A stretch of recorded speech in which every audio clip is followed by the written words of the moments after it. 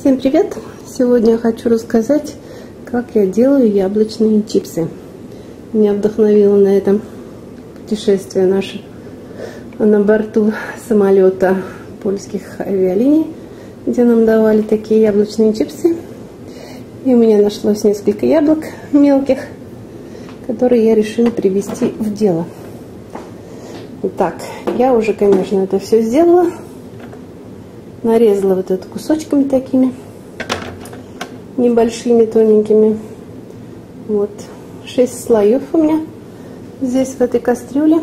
И я, прежде чем раскладывать, посыпала их э, сахаром. Cinnamon sugar. Вот таким сахаром.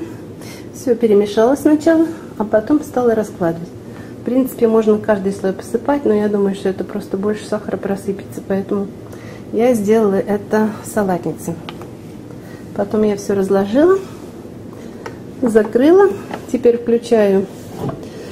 Так, у нас здесь uh, fruits and vegetables. Это фрукты и овощи на 135 Фаренгейт. Ну, так, или 57 по Цельсию. Ну, я хочу немножечко сделать побыстрее, поэтому я включу на 160 или хотя бы на 145, вот на 145.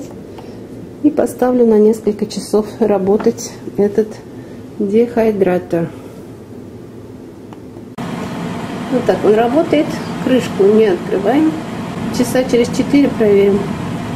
Итак, через 4 часа работы этого дехайдратора я получила вот такие вот яблочные сушененькие кусочки чипсы.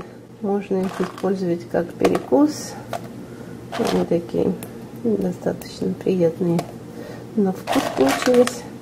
И кто любит, можно использовать это. А также потом для приготовления, например, компота в зимнее время или чего-то такого. Я сложила вот пакетик вот такой, зипер. И можно хранить в сухом прохладном месте.